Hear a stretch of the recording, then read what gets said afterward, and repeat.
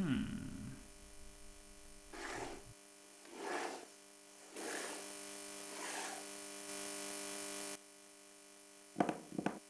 Hmm.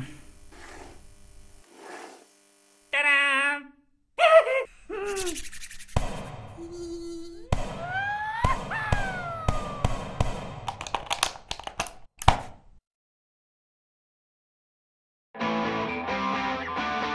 I could be your soul removal service by night.